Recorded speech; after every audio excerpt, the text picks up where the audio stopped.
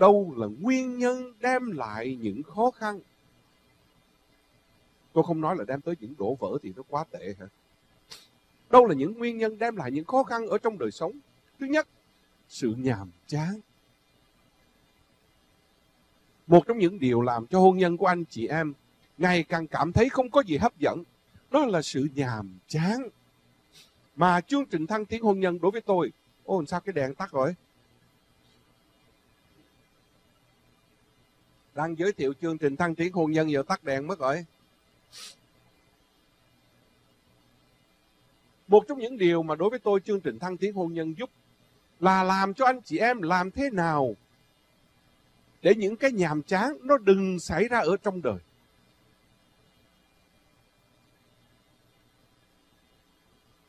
Mình thì mình nghĩ rằng nhìn mặt riết rồi cũng chán, ngày nào cũng nhìn thấy rồi cũng chán vậy tại sao mình không mang lấy tư tưởng của ông bà những người đi trước dạy cho mình? Thương sao mà thương quá bất nhân. Hôm nay mà gặp mặt thì thương hơn bữa nào. À, thấy không? Tại sao mình không mang cái tư tưởng đó? Ở à, đẹp không? Tự nhiên tắt đi chi uổng vậy. Thương sao mà thương quá bất nhân? Tôi bảo đảm những cái câu này từ miền trung kiểu bất nhân là kiểu miền trung thương sao mà thương quá bất nhân. Bữa nay mà gặp mặt thì thương hơn bữa nào. Tại sao chúng ta lại cảm thấy nhàm chán? Chỉ bởi vì chính chúng ta đã cảm thấy, như tôi nói, phạm tội gọi là tội bằng gần chùa gọi buộc bằng anh.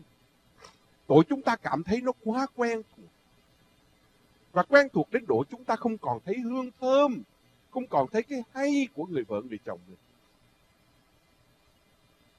đây là nguyên nhân đầu tiên làm cho hôn nhân của anh chị em gặp khó khăn nhàm chán bên cạnh là nhiều khi chúng ta hay có gọi là tinh thần hướng ngoại. Nhiều khi mình không nhìn trong đời sống của mình, mình không chấp nhận những gì mình có, mà hạnh phúc là gì? Hạnh phúc là hài lòng với những gì mình đang có. Nhưng chúng ta không muốn. Chúng ta nhìn, nói theo kiểu tiếng Mỹ, cái đội bên kia bao giờ nó cũng xanh hơn bên này. Chúng ta đứng núi này trong núi nọ.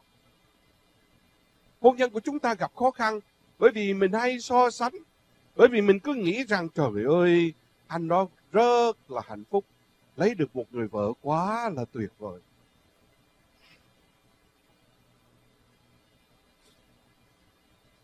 Chị đó cũng rất là hạnh phúc lấy được một người chồng thật là biết điều, thật là khôn ngoan, giỏi giang lạy chúa tôi, thử lại hỏi anh chị đó coi.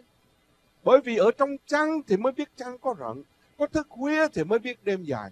Những người mà chúng ta gọi là tôn thần thần thánh hóa họ ở nơi công cộng, trời ơi, anh qua giáo xứ. Chị ơi, chồng của chị tuyệt vời quá. Mỗi lần anh đi ra giáo xứ, anh làm được biết bao nhiêu việc, tụi em ai cũng thích trời ơi ảnh rất là dễ thương, ảnh đối xử nhẹ, ăn nói nhẹ nhàng, làm việc tận tụy. Lạy chúa tôi, bà có muốn bà về nhà đi, tôi cho bà luôn đó. Được rước dùng tôi đi. Ổng chỉ dễ thương với mấy bà ở ngoài thôi. Nhiều khi chúng ta cứ hướng ngoại, cứ nghĩ rằng cái đội bên kia xanh hơn đội bên này. Cứ nghĩ rằng gia đình này là một gia đình hạnh phúc. Trời ơi, họ tuyệt vời. Họ được quá nhiều may mắn. Có. Nhìn quanh chúng ta thấy có. Và có rất nhiều những gia đình gặp được may mắn như vậy. Mà cái may mắn đó không phải là do may mắn. Cho bằng do mỗi một người của họ tự bản thân họ biết cố gắng, biết kiềm chế để đem lại bình an trong gia đình. Nếu chúng ta biết kiềm chế thì cũng như vậy thôi. Nhưng bởi vì mình không biết kiềm chế, bởi vì cái tôi của mình lớn hơn cái tôi của họ chứ đừng nghĩ rằng bởi vì những người đó thánh thiện hơn mình, may mắn hơn mình. Tôi nói thiên chúa không lập và ngay cả đối với những người khó khăn thế nào chăng nữa, mà anh chị em có đức tin vững mạnh, thì chúng ta cũng có thể chuyển núi dời non. Chúng ta có thể thay đổi cuộc sống của một con người. Đương nhiên nó không phải một một đêm, một sớm, một chiều nhưng chúng ta làm được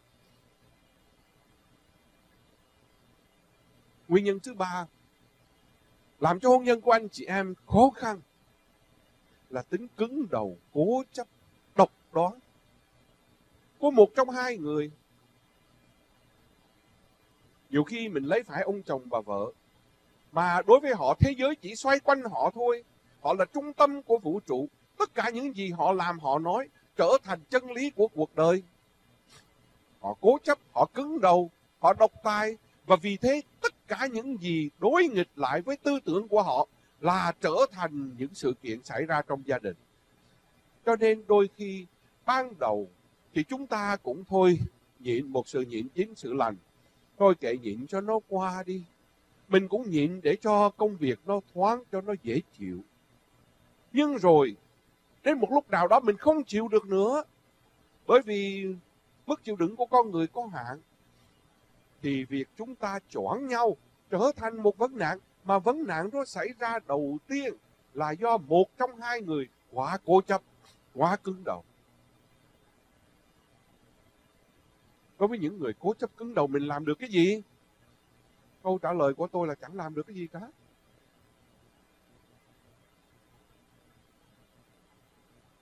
Cùng lắm thì chỉ có biết ngồi đó mà khóc thôi, cầu nguyện thôi chứ làm gì vậy? Đối với những người cố chấp cứng đầu, phần lớn những người này nếu họ có học thức một chút thật sự không phải họ không biết họ sai đâu. Có những người họ biết họ sai họ biết họ sai nhưng họ làm để cho tiếng việt mình gọi là cho nó đã tức. Họ làm để cho nó gọi là phản lại với những gì mà người khác nói với họ.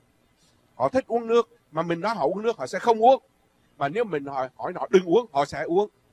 Họ làm ngược lại để chứng tỏ là họ hơn mình. Họ làm một cái gì đó để thỏa mãn cái bực tức của họ. Đối với những con người này, mình không nói được. Vì thế, nếu trong gia đình, đừng đừng ngồi ở đó để mà trình bày, đừng ngồi ở đó để mà lý luận. Đối với những người cố chấp lý luận vô nghĩa và không những lý luận, bằng chứng trở nên vô nghĩa đối với họ đã gọi là cố chấp mà cứng đầu mà thì chúng ta không thể có bằng chứng lý luận để nói chuyện Vậy thì trong hôn nhân, nếu xảy ra có những người cố chấp cứng đầu thì mình làm được cái gì? Thưa, chỉ có một điều làm được đó là mình nên thánh. Đó là im lặng. Đó là chịu đựng. Và hy vọng, cũng chỉ gặp 50, bỏ quyết dây sẽ gặp móng tay nhọn. Những người cố chấp cứng đầu này bước ra ngoài xã hội làm việc hoặc là bước ra cộng đoàn sẽ có những ông, sẽ có những bà còn cố chấp hơn. Và khi choáng được, gặp được những việc, sự việc đó, lúc đó người đó về mới bắt đầu học được bài học. Còn tôi nói thật anh chị em ở trong đời gặp những con người cố chấp cứng đầu độc đoán này chẳng làm được việc gì cả. Chỉ xin Chúa cất họ về càng sớm càng tốt thôi.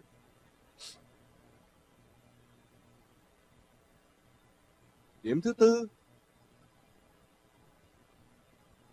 chúng ta không biết tha thứ cho nhau tôi sẽ nói tới tha thứ nữa tha thứ là một chọn lựa, một chọn lựa giữa vợ chồng mà nhiều khi chúng ta quên rằng mình không tha cho người phối ngẫu, thì Chúa cũng sẽ không tha cho mình. Kinh lại cha, chúng ta đọc hàng ngày mà. Xin tha cho con như con cũng tha những người có lỗi với con. Nhiều khi mình đọc nhưng mà mình không nhớ. Nhân vô thập toàn, không biết ai nói nữa. Nhưng mà thôi thì mình biết con người thì không có hoàn hảo. Mà nếu không có hoàn hảo, trong đó có mình, thì mình hiểu được nguyên tắc ông bà dạy. Cười người thì chớ có cười lâu. Cười người hôm trước thì hôm sau người cười. Mà nếu biết được như vậy thì mình đừng cười họ. Bởi vì nếu mình cười thì người ta sẽ cười lại nói cách khác. Nếu mình muốn được tha thứ, thì mình cứ tha thứ cho những người phối ngẫu. tha thứ, nó không dành cho những con người tôi tạm gọi là tiểu nhân, ấu trĩ như mình đâu những người còn ấu trĩ trong đời sống linh đạo, những người còn ấu trĩ tiểu nhân, thấp lè tè dưới đất elemante đó ha những người như chúng ta không có biết tha thứ cho ai đâu. Mình chỉ biết trả thù thôi.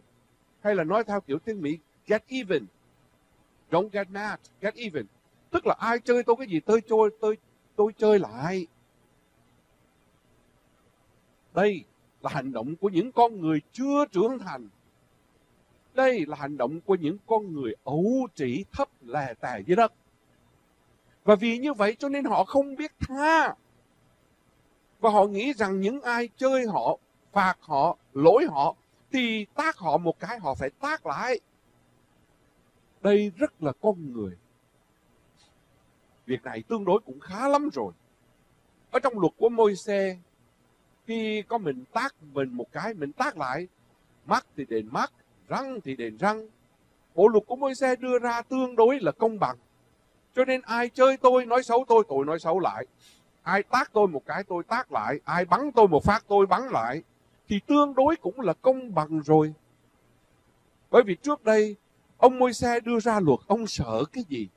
Ông sợ là nếu trường hợp ai vả mình một cái gãy một cái răng mình vả lại gãy nó hai cái răng thì cái đó hơi quá cho nên ổng ra luật mắt thì đền mắt thôi răng thì đền răng thôi. Chứ bây giờ nó đánh mình cái răng, mình đánh luôn gãy hai cái chân thì quá đáng. Vì thế, bộ luật của ông môi xe tính ra cũng công bằng rồi. Nhưng cái đó chỉ dành cho những con người mới bắt đầu chập chững bước vào trong đời sống linh đạo, mới bắt đầu chập chững sống đức tin.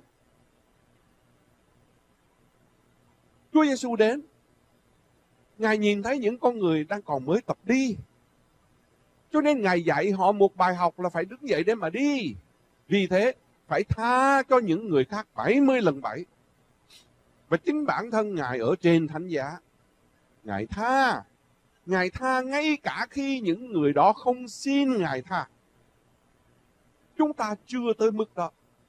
Chúng ta mới chỉ ở mức là nếu trường hợp thánh thiện lắm đó, thì khi người chồng người vợ đến nói với mình anh xin lỗi em bởi vì hôm qua như thế này hay là trước đây anh có cái sai trái?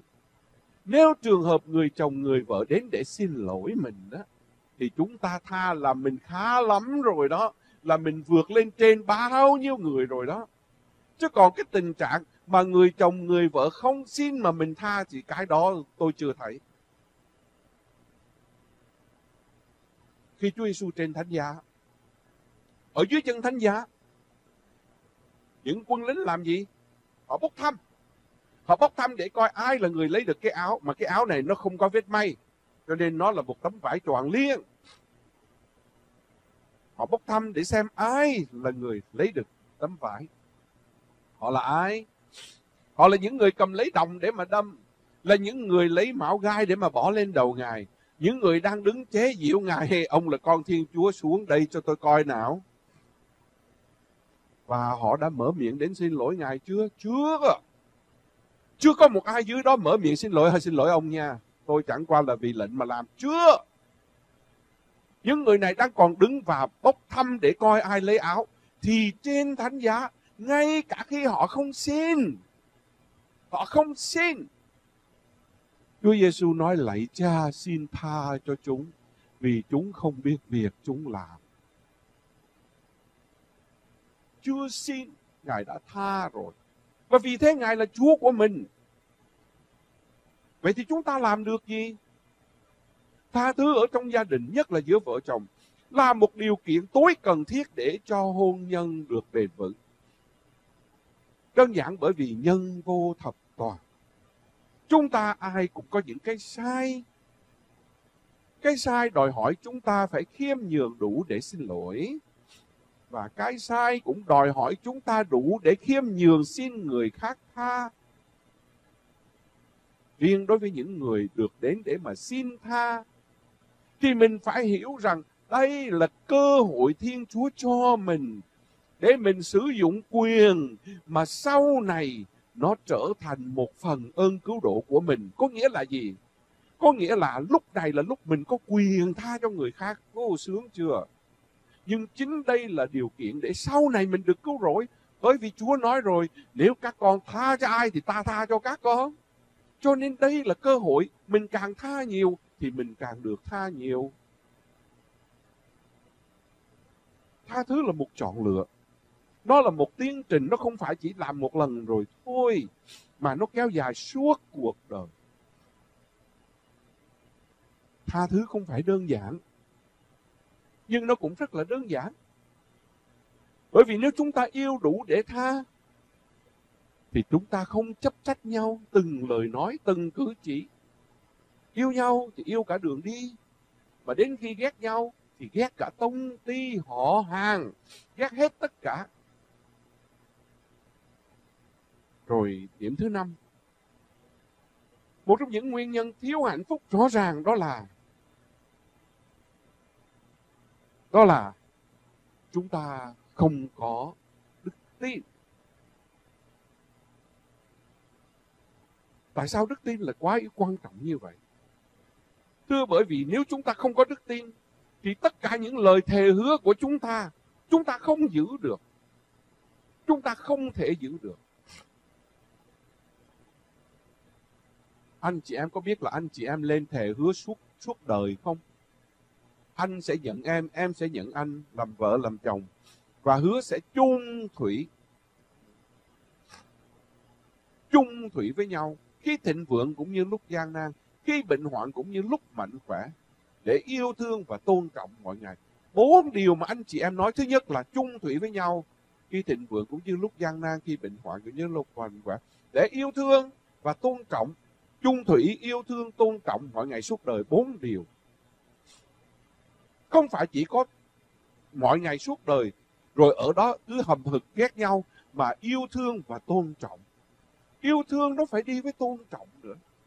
Hãy tưởng tượng nếu trường hợp chúng ta yêu mà chúng ta không tôn trọng nhau, không tôn trọng tính riêng tư của mỗi một người, chúng ta coi người đó như nô lệ của mình, thì làm sao mà hôn nhân hạnh phúc được? Ngày xưa ở bên Việt Nam có cái hình thức gọi là chồng chúa vợ tôi hả? Cũng tội nghiệp. Có những người mẹ, có những người bà bây giờ họ vẫn lớn tuổi qua đây. Có những người sống suốt cuộc đời chưa hẳn họ đã có được một ngày thật sự hạnh phúc trong hôn nhân.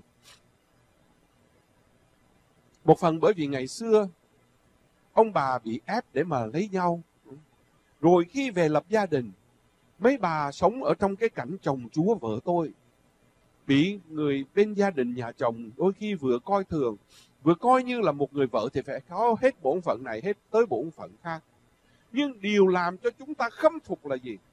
Điều làm cho chúng ta khâm phục là những bà này họ đã sống và cho đến bây giờ gần chết. Mặc dầu có những lúc họ than, nhưng những tiếng than hết sức nhỏ và hết sức bình thường, họ vẫn chịu đựng, họ vẫn ở với chồng, họ vẫn lo cho con, lo cho cháu. Và bây giờ trước phút gọi là từ giả cõi đời họ vẫn luôn luôn nhắc lại với con cháu là phải làm thế nào để giữ bình an trong gia đình. Đây là những tấm gương. Đương nhiên chúng ta tiếc tiếc bởi vì cuộc đời của họ không được hạnh phúc như họ mong muốn. Nhưng bên cạnh đó, họ đem lại hạnh phúc cho biết bao nhiêu người. Mà nếu trường hợp chúng ta áp dụng phúc âm, thì quả thật đây là những người sống phúc âm. Chúng ta là những người giảng phúc âm thôi, nói cho nhiều thôi. Nhưng chúng ta không sống, họ là những người sống sống ở chỗ nào, sống ở chỗ Chúa Giêsu nói, nếu hạt lúa mì rơi xuống đất mà nó không thối đi thì nó chỉ trơ trọi một mình, nhưng nếu nó thối đi thì nó sinh nhiều bông hạt. Họ là những người sống phúc âm bởi vì họ thối đi một mình, họ chịu đựng, họ đem lại bình an, hạnh phúc cho cả gia đình. Một trong những điều rất khó đối với anh chị em ngày nay là vấn đề cam kết chung thủy. Một phần bởi vì xã hội, quá nhiều những cám dỗ ở bên ngoài. Một phần bởi vì chúng ta không có nhiều gương hy sinh. Chưa nói những người hy sinh ở trong đời sống bị những người khác cho là ngu xuẩn. Tại sao mày phải chịu như vậy? Con cái của chúng ta ngày nay lớn lên khi mình dùng tới chữ nào là hy sinh nữa, nhiều khi nó không hiểu. Việc chúng ta sống với nhau trọn đời chung thủy là một trong những điều kiện mà đòi hỏi anh chị em phải có sự hy sinh. Và chỉ có hy sinh, anh chị em mới làm cho hôn nhân bền vững. Nếu chúng ta họ nói đến một hạnh phúc trong hôn nhân, hạnh phúc trong hôn nhân nó khác với một hôn nhân vui vẻ một hôn nhân vui mừng đương nhiên hạnh phúc thì có niềm vui nhưng có biết bao nhiêu lần ở trong những cuộc sống rất đau khổ mà con người vẫn nhìn tìm thấy được hạnh phúc Ở đây tôi nói tới hạnh phúc trong hôn nhân, chứ tôi không nói tới những niềm vui. Bởi vì có niềm vui thì tốt. Có những gia đình, tự nhiên bây giờ công ăn việc làm thì mất.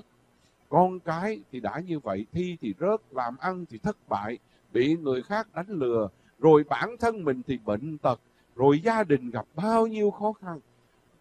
Hết những cái khó khăn này tới những khó khăn khác, dồn dập tới độ nhiều khi mình nghĩ rằng Thiên Chúa không để ý, không lắng nghe lời cầu nguyện của mình.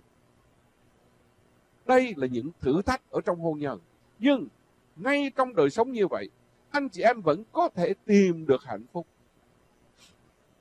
Cái mà thử thách anh chị em nhiều nhất giữa vợ chồng bây giờ, đó chính là sự trung thủy, trung thành. Tại sao nó khó? Thưa bởi vì xã hội chung quanh mình, người ta không coi trọng việc trung thành. Xã hội chung quanh mình, người ta cho rằng việc trung thành là một điều ngu xuẩn. Tại sao lại cứ ở mãi với một người, nhất là nhiều khi người đó mình không được hạnh phúc mấy. Nói theo danh từ của họ, hiểu veo kiểu trần thế, không được vui vẻ mấy. Cuộc sống của chúng ta ngày nay, các em trẻ ngày nay lớn lên, nó có nhiều thử thách lắm.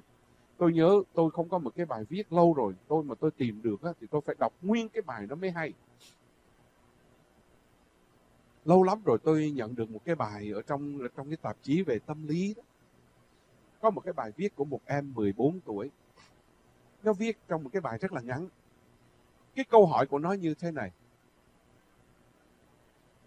liệu chừng ông bà có sống cuộc sống khó khăn như chúng con bây giờ hay không đó là câu hỏi were you facing the difficult life as we do today? Ở trong đó em bé 14 tuổi nó viết cái gì? Nó nói rằng ông bà vẫn cứ nói tới hôn nhân là khó khăn, rồi cuộc sống khó khăn. Ngày xưa tao phải đi bộ tới nhà trường, ngày xưa tao không có xe, tao ăn không có nhiều. Lúc nào mà có chuyện gì xảy ra, thì ông bà cũng cứ nhắc tới chuyện ngày xưa và nói cho chúng con biết rằng tụi mày bây giờ sướng lắm, tụi mày không như tao ngày xưa. Bài viết của một người thật sự nó để là một đứa em bé 14 tuổi nhưng mà là bài viết của một giáo viên viết trong tâm tư của một em bé 14 tuổi. Thì trong cái bài viết nó nói cái gì? Chúng ta, nó viết chúng ta những người làm cha làm mẹ vậy thì ông bà có biết rằng cuộc sống của chúng tôi bây giờ, những đứa con cháu của mình đây nè, khi mà mình về mình dạy lại nó đó, cháu mình, con mình 15 13 14 tuổi, chúng ta có hiểu rằng chúng nó hiện tại bây giờ cuộc sống của nó càng khó khăn hơn cuộc sống của chúng ta không? Tôi nói về vấn đề đức tin. Cuộc sống của chúng nó bây giờ khó khăn hơn chúng ta nhiều không? Ở trong bài viết nó viết cái gì? Nó nói rằng mỗi một khi chúng con gặp điều gì khó, ba mẹ và ông bà thường nhắc nhở cho chúng con biết thời của chúng ta chúng ta không có xe để đi nè chúng ta không có phone để nói nè chúng ta không có quần áo mặc vào mùa ấm nè chúng ta tất cả những cái khó khăn đó Vậy thì cha mẹ và ông bà có biết rằng cuộc sống của chúng con bây giờ còn khó hơn nhiều không? Con hỏi ông bà nè, có bao giờ ông bà phải đi vào trường học mà phải đi qua một cái metal detector tức là cái để mà kiểm tra coi có vũ khí không? Có bao giờ ông bà đi vào trong trường học mà vừa ngồi vừa học mà vừa sợ thằng khác bắn không? Có bao giờ ông bà bước ra đường mà cứ sợ rằng nghĩ rằng nếu trường hợp mình không có tiền thì người ta sẽ đối xử với mình không ra gì không? Có bao giờ ông bà nghĩ rằng tới tuổi 15, 14, 15, 16 mà chưa có bồ, chưa có bạn trai, chưa có bạn gái thì những đứa khác nó sẽ coi thường mình không? Có bao giờ ông bà bị những cái pressure của, của những cái áp lực của bạn bè đến độ ông bà phải từ bỏ cái này, từ bỏ cái kia không?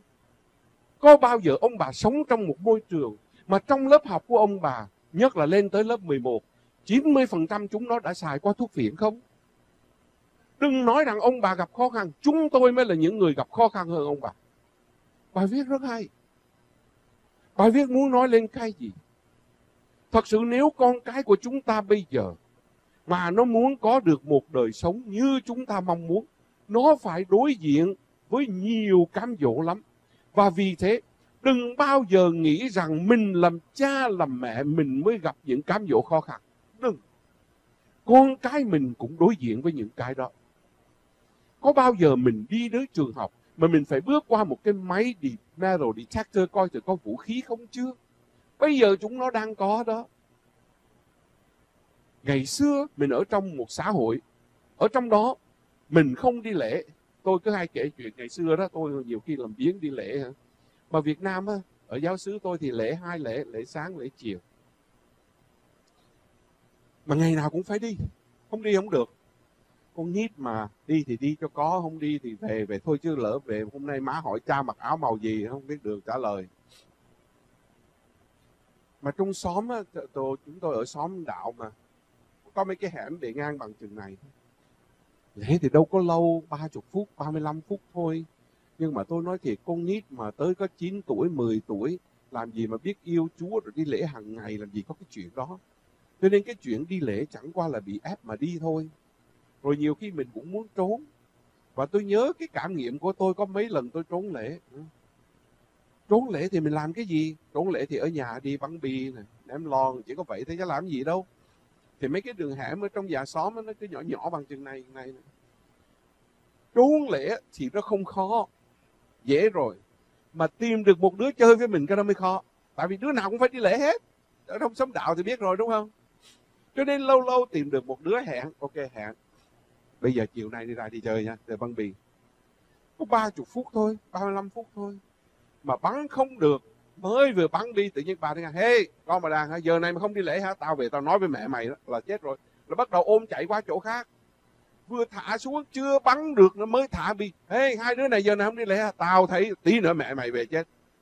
Cuối cùng tôi nói ba chục phút không chơi được chạy hết chỗ này. Mà mình đi trong xóm ai cũng biết tôi là ai con ai biết hết. Rồi tối về làm cái gì? À, hôm nay có đi lễ không? Mà tôi hỏi là tôi biết rồi.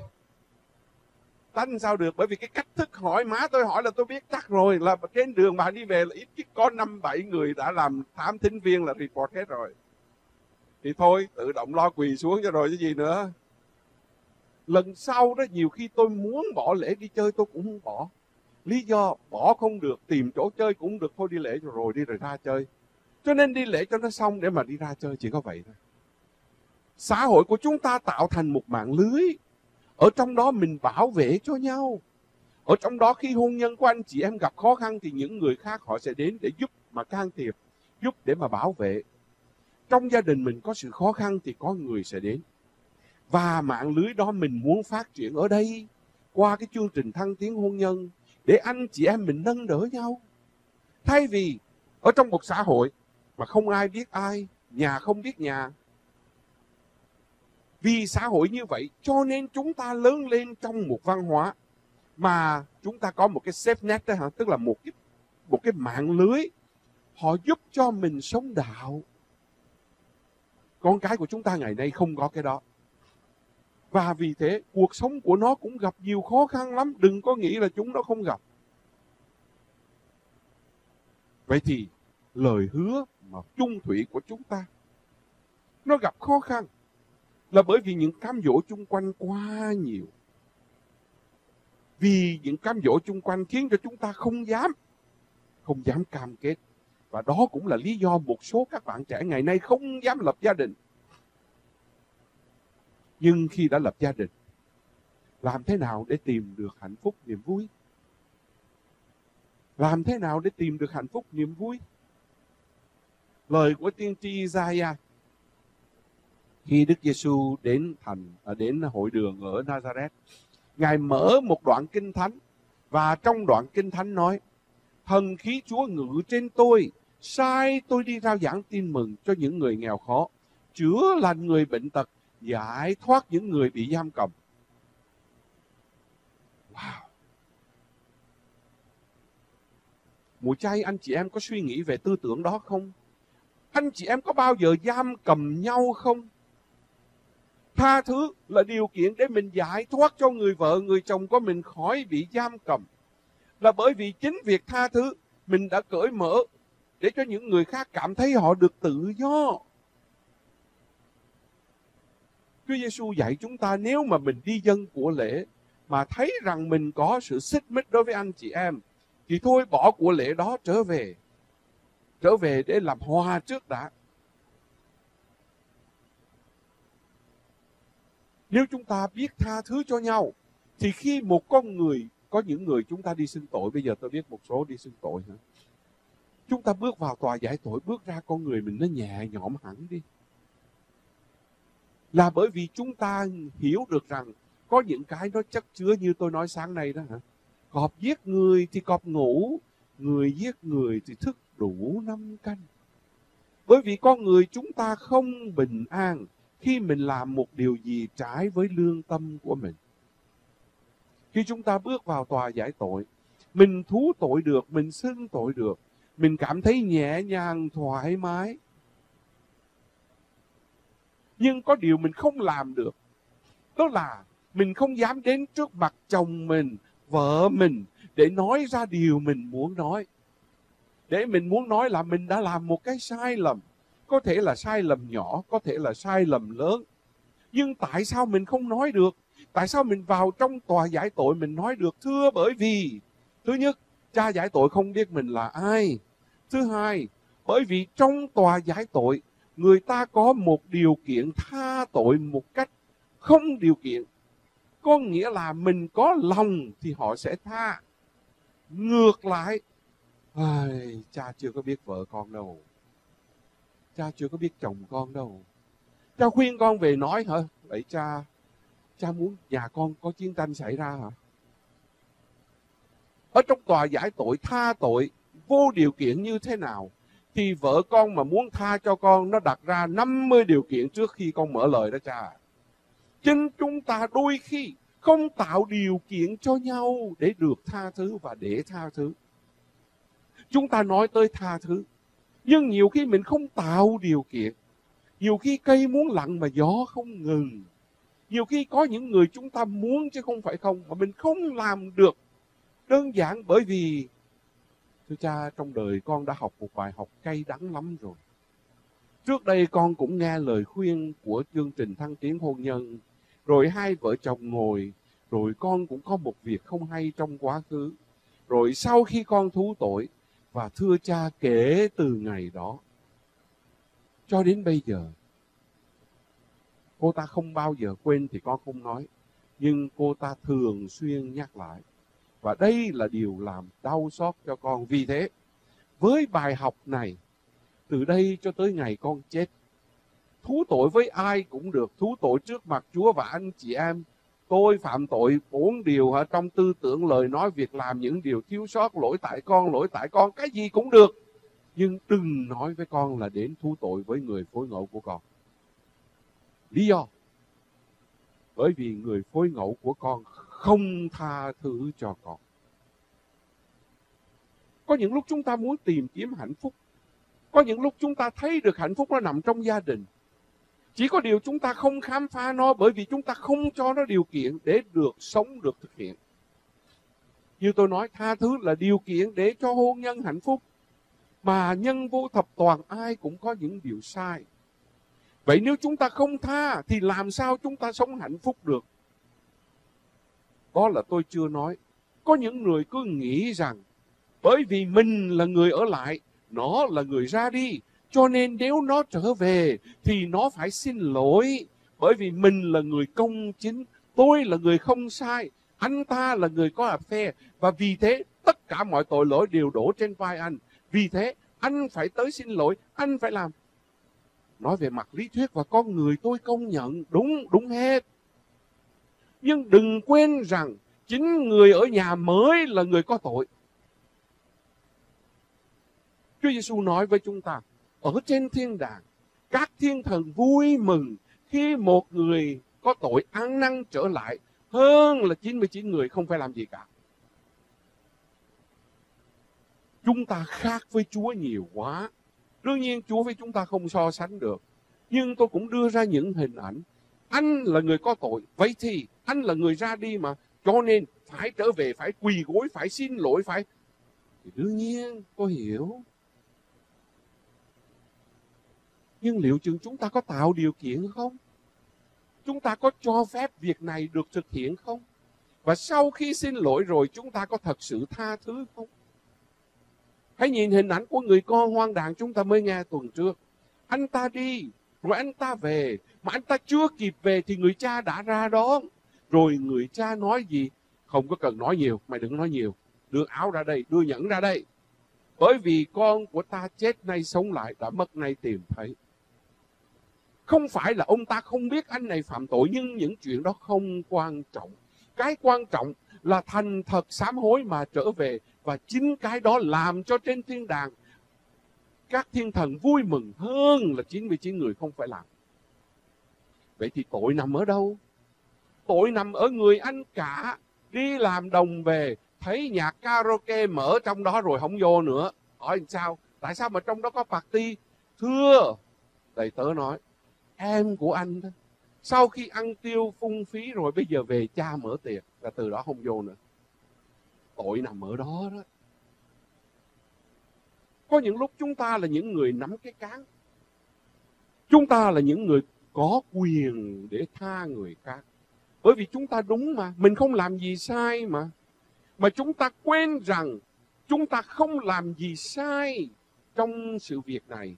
Nhưng chúng ta đã sai khi mình không mở cửa cho người khác bước về. Người con cả của người ông cha không có gì sai khi ông ta ở nhà với người cha nhưng ông đã sai khi ông không mở lòng để cho người em của ông đã chết nay sống lại, đã mất nay được tìm thấy. Mùa chay là mùa thách thức. Thách thức vợ chồng. Muốn hạnh phúc không? Muốn. Vậy thì tha thứ đi. Bởi vì bình an chỉ có tìm được ở trong tha thứ. Và để được tha thứ thì anh chị em phải biết lắng nghe nhau. Lắng nghe là bước đầu của sự tha thứ. Ai cũng muốn nói, mà không ai muốn nghe. Nhưng nếu chúng ta biết lồi xuống lắng nghe thì đó là bước đầu của tha thứ. Nên nhớ, nói cho cùng, tha thứ không phải đến từ anh cũng không phải đến từ chị đâu. Chẳng qua chúng ta nói để tôn vinh con người mình lên cho nó oai vậy thôi. Anh làm sai hả? Anh xin lỗi chị chị tha tôi tha cho anh. Tôi nói thật nói cái kiểu đó là nói cho vui thôi. Chứ nói về thần học không có đâu. Cái này là chỉ nói trong văn chương xã hội với nhau thôi anh làm việc gì sai, anh về anh xin lỗi, chị tha, tôi tha cho anh Chúng ta nói như vậy hàng ngày mà. Là bởi vì trình độ thần học của chúng ta thấp quá. Bởi vì chúng ta nghĩ chúng ta tha được. Lầm. Chỉ có Thiên Chúa mới có quyền tha tội. Và vì thế tôi nhắc cho anh chị em như thế này. Kể cả những gì anh này làm, chị không tha. Không quan trọng. Chị không có quyền gì để tha hết. Tôi nói thật. Cái chuyện mà chị nói tha cho anh là chị nói với con nít kìa. Chứ chị nói với những giáo sư dạy thần học như tôi không có nghĩa. Tại sao tôi nói như vậy? Tại vì cái chết nó không làm chấm dứt cuộc đời của chúng ta. Cái chết nó không chấm dứt cuộc đời của chúng ta. Bởi vì có những điều mà sau khi chết chúng ta còn phải đối diện. Nếu anh là một người đã thật tình ăn năn sám hối, thì việc chị tha hay không không cần thiết bởi vì Thiên Chúa tha cho anh rồi. Còn tôi nói cho chị biết, sau khi chị chết, Chúa sẽ hỏi thăm chị. Ý tôi muốn nói gì? Ý tôi muốn nói rằng con người của chúng ta không chấm dứt ở cái chết. Và có những cái mà chúng ta cứng đầu cứng cổ cố chấp không tìm để xin lỗi. Chúng ta sai mà không dám nói với vợ mình, với chồng mình tha cho em, tha cho anh. Mà chúng ta nghĩ rằng chết là hết hả? Đừng tưởng lầm. Cái chết nó không chấm dứt những chuyện đó. Bởi vì nếu chúng ta sai thì mình phải xin lỗi. Mà mình không xin lỗi, nó sẽ kéo dài đến sau cái chết. Đó là đức tin của chúng ta. Không có việc gì mà ở trong che giấu ở trong nhà mà rồi đây nó không lên ở trên mái nhà. Không có việc gì mà chúng ta nói với nhau rồi cuối cùng nó sẽ không có uh, ra bên ngoài.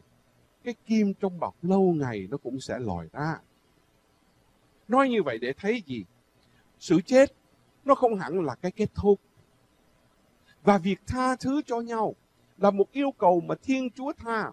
Và chúng ta nói với nhau để xin nhau theo lối là chúng ta nói về phương diện con người. Nói về phương diện xã giao, lịch sự.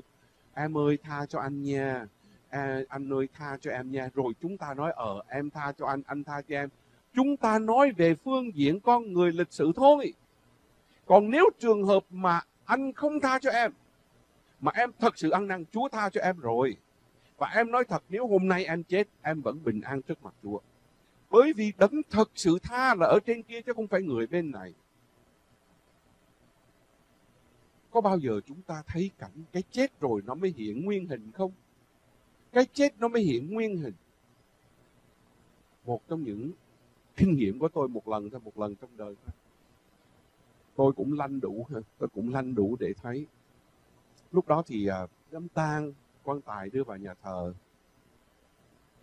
tôi cũng đã thấy bắt đầu có cái sự gọi là hơi khó khó chịu tại vì tôi chỉ là người đến để đồng tế thôi nhưng mà tôi thấy trong đám tang nó không có được gọi là vui vẻ không được tôi dùng cái từ gọi là bình thường đó. nó có một cái gì nó hơi ngột ngạt.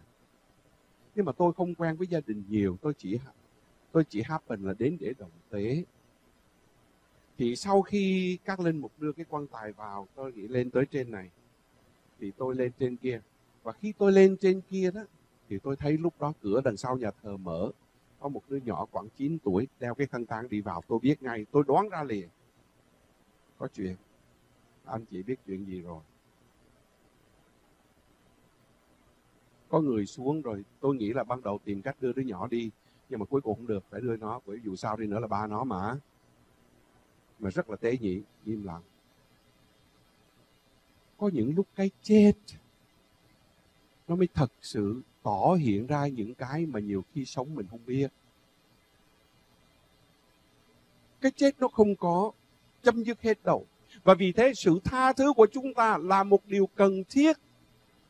Và đừng nghĩ rằng mình có toàn quyền thiên chúa tha nhưng thiên chúa cho mình cơ hội để làm gì? Để coi thử là thiên chúa tha cho mình nhiều không bằng cách mình có tha cho người khác nhiều không. Nếu trường hợp chúng ta không tháo cởi người khác, không tha thứ cho người khác, mà chúng ta cứ phải chờ đợi quá lâu, có những lúc mà người ta thật sự ăn năn, tôi không nói những người gọi là lợi dụng mình ha. Hôm nay tới cười khóc đổ nước mắt cá sấu ra, bắt được quả tang thì khóc ơi là khóc, mà không bắt được quả tang thì cứ vậy mà làm. Tôi không nói tới những trường hợp đó. Tôi nói tới những trường hợp thật thật sự với lòng thành, với đức tin, mà nhiều khi không tìm được một cơ hội để chúng ta lặp lại thì chính những con người tạo ra những cuộc sống khó khăn này sẽ chịu trách nhiệm trước mặt Chúa. Chúng ta có biết nhiều khi trong gia đình ngột ngạt, nhiều khi trong gia đình căng thẳng, chỉ bởi vì hành động của một người mà không phải nó sai, chỉ là không tế nhị đủ. Chẳng hạn như người chồng hoặc là người vợ có một cái gì đó ở trong quá khứ rồi cứ thỉnh thoảng đụng một cái gì bực rồi mình đem nhắc lại đụng một cái gì bực mình đem nhắc lại rồi chưa nói nhiều khi mình còn take sai tức là mình còn nói với con cái để con cái đứng về phe mình. Đây là những điều sai trái và chúng ta bắt buộc phải chấm dứt. Bởi vì mình hiểu được nếu là xương, bởi xương tôi thịt bởi thịt tôi, thì bất cứ chuyện gì xảy ra, hãy cứ để hai vợ chồng giải quyết. Con cái nó không thuộc nằm trong cái chuyện này. Nhưng bởi vì chính chúng ta đôi khi chỉ vì muốn biện minh rằng mình là người đúng, cho nên chúng ta muốn lôi kéo càng nhiều những người theo phe mình thì càng tốt nữa đây là một trong những sai trái rất nặng nề chúng ta cần phải có đức tin ở trong thư gửi cho Philippians chương 4 Thánh Phaolô viết với Thiên Chúa tôi làm được mọi sự ở trong thư của Philippians chương 4 câu 13. Với Thiên Chúa, tôi làm được mọi sự. Vậy thì liệu chừng ở trong gia đình có tình trạng nào gọi là tình trạng tuyệt vọng hết cứu chữa không? Thưa không? Nếu Thánh Phaolô nói với ơn Chúa, với Thiên Chúa tôi làm được mọi sự. Vậy thì có những sự tôi chưa làm được là bởi vì tôi không ở với Thiên Chúa mà thôi. Cho nên tôi cần phải biết trong Thiên Chúa tôi làm được mọi sự. Tôi cũng nhắc, nhắc lại, tha thứ không có nghĩa là quên đi đâu nhé. Bởi vì những gì đã xảy ra rồi không bao giờ mình quên được. Nhưng mình chọn để đừng nhắc lại nữa. Mình chọn để đừng bao giờ đem trở lại mà những cái đem trở lại này không có lợi gì cho cuộc sống hôn nhân. Tha thứ nó cũng không có nghĩa là không bắt lỗi người khác. Sai thì mình phải bắt lỗi. Tha thứ có nghĩa là mình vẫn bắt lỗi. Nhưng mình không chọn để nhắc đi nhắc lại. Và tha thứ là một trong những nhu cầu, yêu cầu cần thiết đó. Bởi vì như tôi nói, biết bao nhiêu lần cây muốn lặng mà gió không ngừng. Và mục đích của tha thứ là gì? Mục đích của tha thứ không phải là tôi tha cho anh. Anh tha cho tôi thế là xong. Không! Nhất là trong đời sống vợ chồng. Mục đích của tha thứ là đem lại sự hòa giải trong đời sống vợ chồng. Ở trong đời sống cộng đoàn tôi không quan tâm. Tôi mới gặp anh Hùng ngày hôm nay. Nếu trường hợp ổng lấy của tôi hai chục đồng mà đã vậy rồi còn vu oan là tôi thế này thế kia. Thật sự sau này tôi tìm ra tôi tha cho ổng và tôi chỉ nói tôi tha cho anh. Và tôi không quan tâm. Lần sau tôi cũng chẳng bao giờ gặp ổng nữa. Cho nên chuyện tôi tha cho anh Hùng là xong. Và tôi cũng không muốn gặp ông. Và nếu lần tới mà mình gặp nhau trong nhà thờ, tôi không ghét bỏ gì. Nhưng tôi chọn nếu được thì tôi tránh tôi đi qua nhà thờ khác thì hơn, không sao. Bởi vì ảnh là người dân. Trong vợ chồng, tha thứ nó không dừng ở chỗ là tôi tha cho em, em tha cho anh là xong. Không. Mục đích của việc tha thứ trong đời sống hôn nhân là phải đem lại sự hòa giải.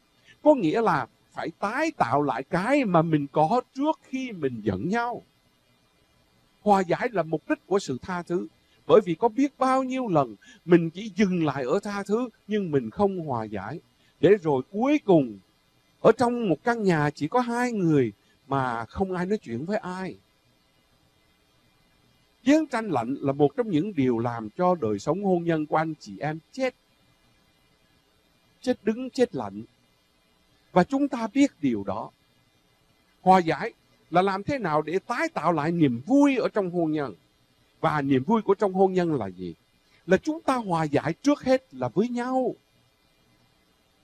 Niềm vui tột cùng là khi chúng ta hòa giải với nhau. Đương nhiên, khi anh chị em đến với giáo hội trong mùa chay, họ sẽ nói với anh chị em, hãy cố gắng hòa giải với Thiên Chúa, hãy cố gắng hòa giải với tha nhân. Nhưng tôi nói với anh chị em hòa giải với Thiên Chúa và tha nhân dễ lắm. Hòa giải với Thiên Chúa thì cứ đi xưng tội rồi hứa với Chúa không phạm nữa là xong. Hòa giải với tha nhân thì đứa nào gần đây thì mình xây hai tiếng, đứa nào không có thì thôi. Hòa giải với vợ chồng mới là điều tối quan trọng và đem lại niềm vui và hạnh phúc. Bởi vì nếu mình chỉ có dừng lại ở tha thứ mà không có hòa giải với vợ chồng thì mình sẽ không thể nào có hạnh phúc được. Một trong những điều mà phải hiểu hôn nhân hạnh phúc được là do gì? Là do kết quả của đối thoại giữa anh chị em. Và vì thế cuộc đối thoại của anh chị em vô cùng quan trọng. Làm thế nào để chúng ta cùng có một tinh thần cởi mở và cùng có đức tin. Chỉ có trong đức tin chúng ta mới hiểu được định nghĩa của hy sinh là gì, của tha thứ là gì. Bởi vì không có đức tin, tại sao tôi phải tha? Không có đức tin, tại sao tôi phải hy sinh? Bởi vì tất cả những cái việc này nó vô nghĩa. Tôi chỉ muốn kết luận như thế này, tôi nhìn thấy đồng hồ chắc tôi để cho anh chị em khoảng à, 30 phút, hơn 30 phút để mà hỏi nhé. Bởi vì tôi biết hồi nãy giờ câu hỏi cũng nhiều lắm. Tôi muốn anh chị em hiểu cái gì trong bài nói chuyện hôm nay. Hạnh phúc hôn nhân và đức tin công giáo đi đôi với nhau. Hôn nhân thì ở đâu cũng có.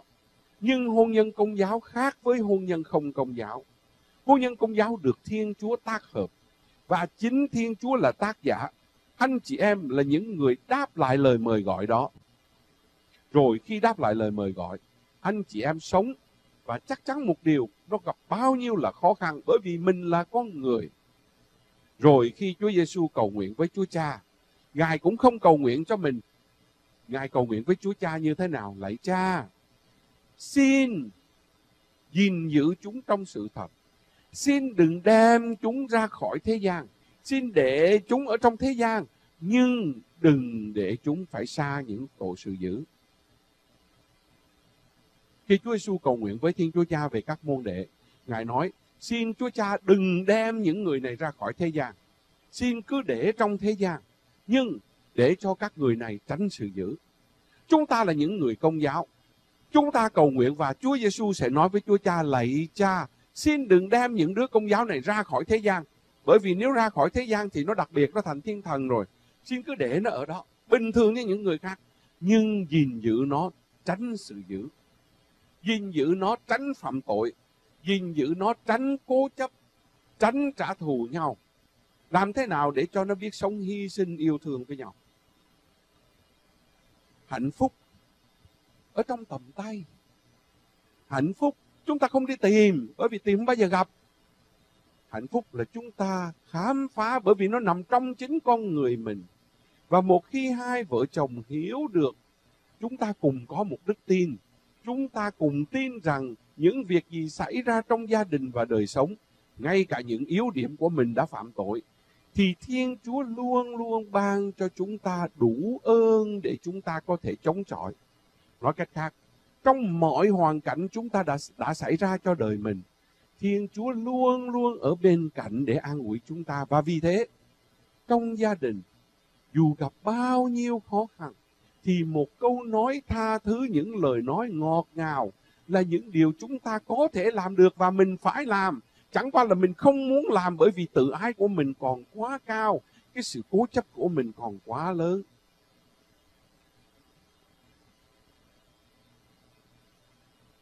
Tôi thích cái bài thơ của Trung Diệu đó hả? Mấy cái câu thơ về phải nói đó. Tôi nghĩ nó có giá trị ở trong đời sống gia đình. Một chàng trai đi với một cô gái ra bờ đê ngồi. Hai đứa nó yêu nhau thì nó mới ra đó. Và khi ra đó thì đương nhiên đứa nào cũng biết đứa kia yêu đứa này. Làm sao mà không yêu nhau được? Nhưng yêu nhau là một chuyện, nói ra lời yêu thương lại là một chuyện khác cho nên, chàng trai chỉ muốn nghe, chỉ muốn được nghe tiếng là em yêu anh, chỉ muốn nghe chừng đó thôi. Cũng như anh chị em ở trong nhà, không phải là mình không biết chồng mình sai, vợ mình sai, hay là không biết vợ mình yêu mình, chồng mình yêu mình. Nhưng đôi khi mình là con người, mình không phải là thần thánh. Và vì thế, đừng có thiên thần hóa mình. Mình có xác mà. Thiên thần không có xác, họ không có biết nụ hôn, họ không biết vuốt tóc, họ không biết ôm ấp vì thế là con người, anh chị em con người cần có phải nghe, cần có những cái ôm ấp, những cái đụng tay, những cái tiếng nghe ở trong tai của mình. Cho nên trong bài thơ Xuân Diệu, ông kể hai đứa ra bờ đê, thì anh chàng này ngồi cứ nghe, ngồi hoài mà không thấy cô gái nói. Cho nên nó nói với nó, với em gái nó làm sao? Yêu tha thiết thế vẫn còn chưa đủ. Em phải nói phải nói và phải nói phải nói yêu trăm vạn đến ngàn lần, vì yêu tha thiết thế vẫn còn chưa đủ. Tôi tin chắc ai trong anh chị em ngồi đây cũng yêu thương nhau, nếu không có làm sao mà giờ, tới giờ này. Tôi tin chắc không ai trong anh chị em không yêu thương con cái mình, bởi vì không yêu thương con cái, nghe nó sốt một cái ở trên trường đại học, nó đi xe mà chỉ kẹt xe ở dưới đường mình ngồi ở nhà mình nóng ruột không ăn cơm nữa chuyện hai vợ chồng yêu thương nhau, chuyện anh chị em yêu thương con cái anh chị em là một chuyện thừa ai cũng biết rồi. Nhưng cái tôi muốn nói là liệu chừng con anh chị em nó có biết không? Liệu chừng anh có biết là chị yêu anh không hay là chị có biết anh yêu chị? Đó mới là câu hỏi. Liệu chừng chúng ta có mở miệng nói được với nhau không? Bởi vì chúng ta ngại ngùng cho đến khi, cho đến khi không còn cơ hội cho đến khi con cái không ở với mình, cho đến khi cha mẹ mình bất đi qua đời rồi, bật ra giữa quan tài khóc la khóc lóc, để rồi nghĩ rằng đây là những tiếng nói yêu thương. Muốn rồi. Những ai mà qua đây sớm sớm đó, chắc là anh chị hùng dưới kia biết kìa hả? Có cái bài hát của Mechanics nó là là cái bài hát gì mà cái tên của nó là It's too late when we die you... cái bài cái bài hát có cái tên của nó cái gì hả? Uh, generation blame generation blame the one before. Trong cái bài của hát của tiếng Mỹ đấy thì nhớ cái bài đó không? Tức là cái thế hệ này nó cứ nó cứ đổ lỗi cho cái thế hệ khác. Là người cha không như thế này người con không như thế này. Cho đến một ngày đó người cha nó chết thì lúc đó nó mới đến và nó mới thấy. It's too late. When we die khi mà chết rồi mình không còn cơ hội để nói với người cha mình lời xin lỗi nữa. Tại sao mình không nói khi người còn sống? Cho nên chuyện vợ chồng anh chị em yêu thương nhau anh yêu chị chị yêu anh cha yêu con mẹ yêu con cái chuyện đó ai cũng biết rồi. Cái vấn đề là liệu chừng con anh chị có biết là anh chị yêu nó không vợ của mình có biết mình yêu vợ không? Chồng của mình có biết mình yêu chồng không? Và vì thế tôi chỉ muốn nhắc lại, yêu tha thiết thế vẫn còn chưa đủ. Hôm nay là anh phải nói phải nói và phải nói phải nói yêu trăm vạn đến ngàn lần. Bởi vì yêu tha thiết thế vẫn còn chưa đủ. Amen nhé. Thưa cha ờ, một gia đình sau khi đã qua đời rồi, thì ở một cái thế giới bên kia họ có nhận ra nhau là đây là cha mẹ tôi đây là con cái tôi không Cảm ơn chị. Dạ, Bắt buộc phải nhận ra nhau, bắt buộc phải nhận ra nhau. Và đây là giáo lý công giáo.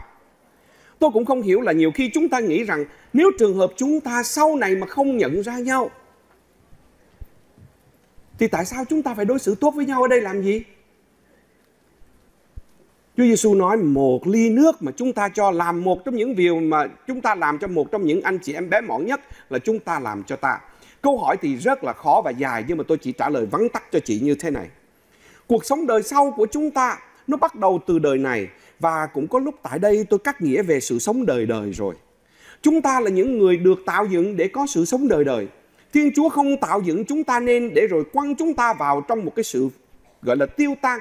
Nihilism nói theo kiểu tiếng Mỹ đó hả? hoặc là tiếng Latin nihil. Tức là rồi đây nó tiêu tan, nó tiêu biến không còn gì cả. Không.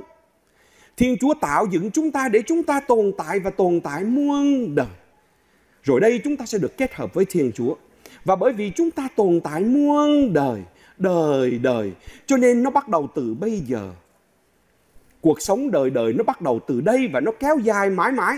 Cuộc sống đời sau thì nó mới bắt đầu đời sau. Nhưng mà cuộc sống đời sau là một phần của cuộc sống đời đời.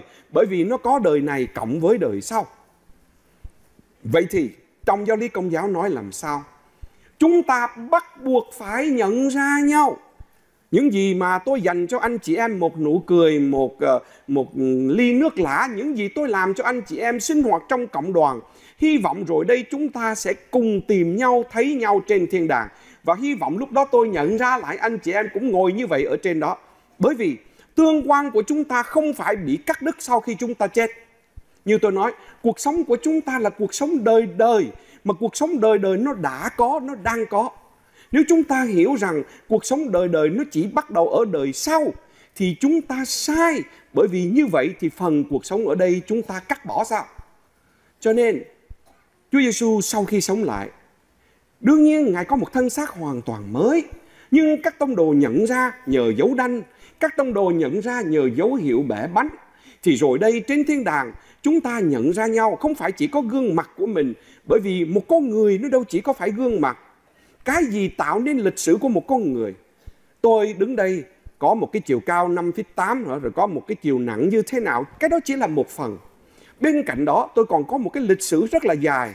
Học ở đâu, lớn lên mấy tuổi, thích ăn gì, thích nghe nhạc gì, đi chơi với ai, bạn bè thế nào. Tất cả những cái đó nó là một cái đặc nét của tôi chứ không phải của người khác. Vì thế khi gặp lại bạn bè, đôi khi tôi bây giờ phẫu thuật sửa mặt mày lắm mới được như thế này chứ không ngày xưa nó có được như vậy hả? Đi bơm căng lắm nó mới ra vậy đó hả?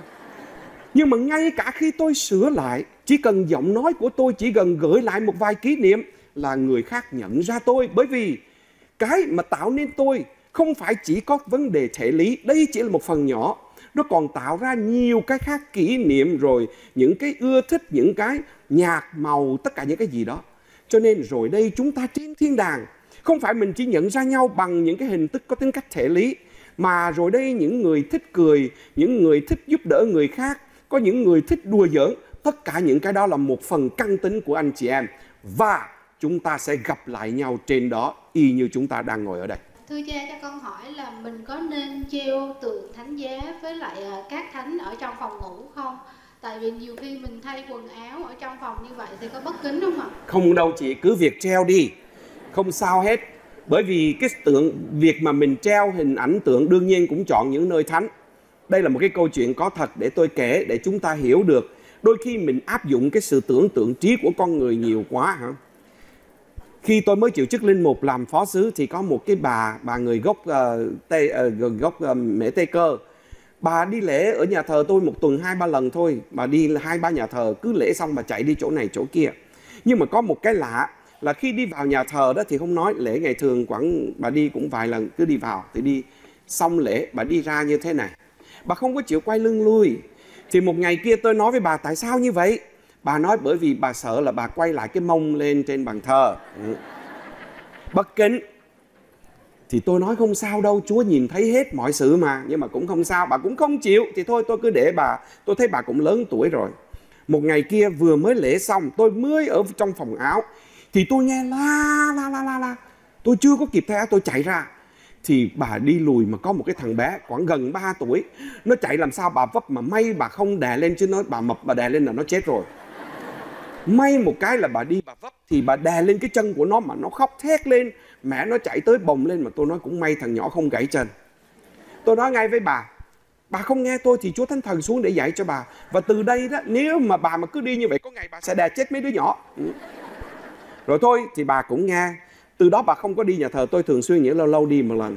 Khi nào mà bà thấy có tôi đó, thì bà cũng không có đi ra. Chờ cho đến khi mà tôi đi rồi thì bà mới tôi không biết bà đi cách nào. Nhưng đến một ngày kia thì bà đau.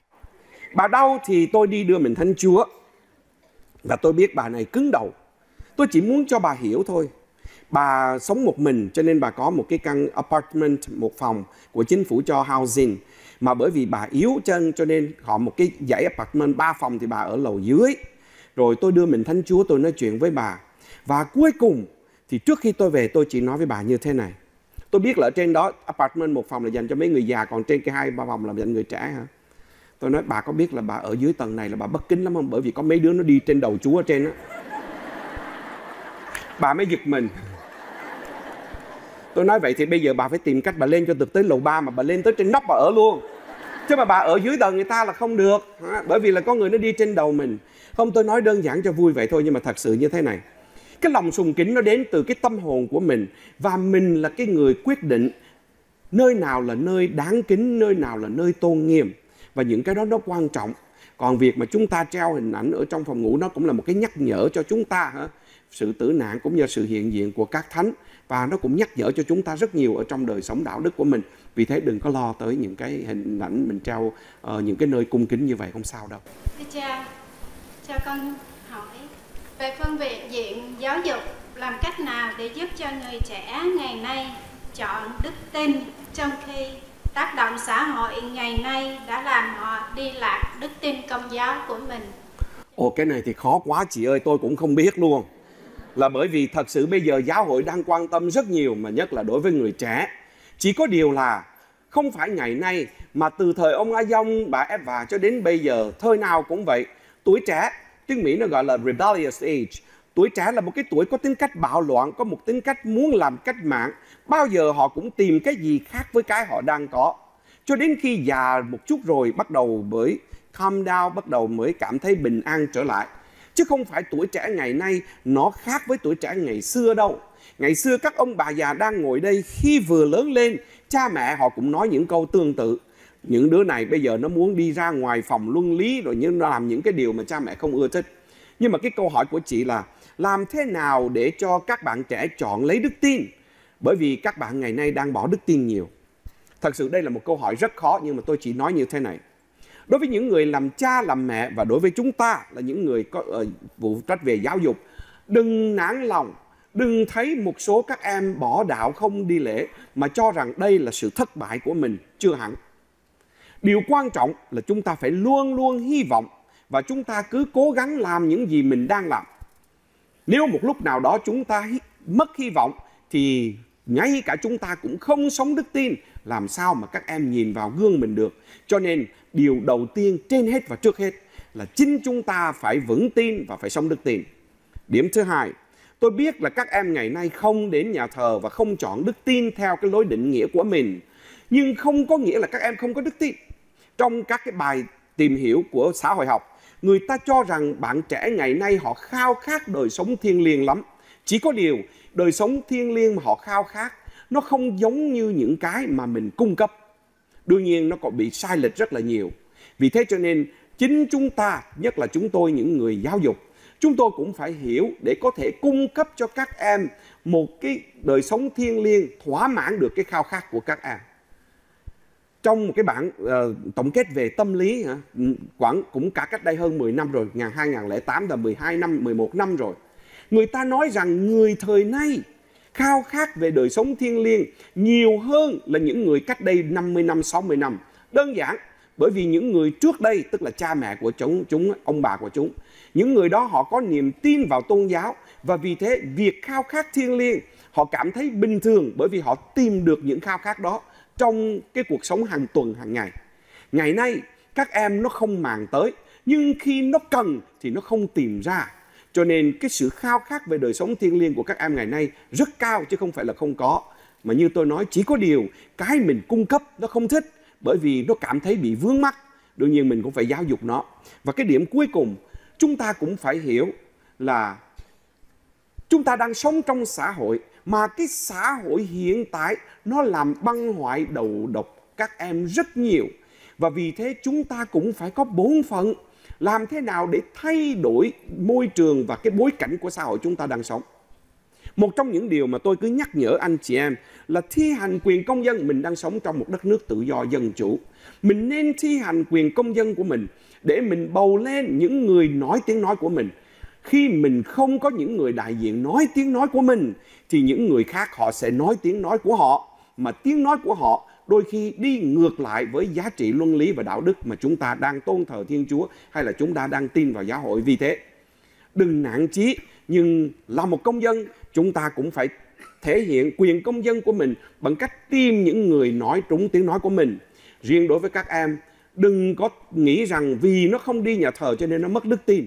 Tôi tin chắc chúng ta cứ cố gắng dạy cho các em còn khi nhỏ và đức tin nó vẫn còn niềm khao khát của nó vẫn còn. Chỉ có điều chúng ta cũng bây giờ thì tôi không có câu trả lời nhưng tôi tin là chúng tôi cũng như anh chị em đang cố gắng và việc mà mình sống đạo hoặc là những cái cung cấp về đời sống đức tin của những nhà giáo như chúng tôi cũng sẽ giúp đỡ cho, cho các em. Nếu không lúc này thì lúc khác. Nhưng chắc chắn một điều các em không có mất đức tin đâu. Các em đang mong đợi rất nhiều nhưng mà chỉ có các em đang còn cố chấp và nó chưa chấp nhận bởi vì cái bầu khí chính trị cũng như xã hội đang đầu độc nó mà thôi. Vâng. Xin mời chị ở trên lầu.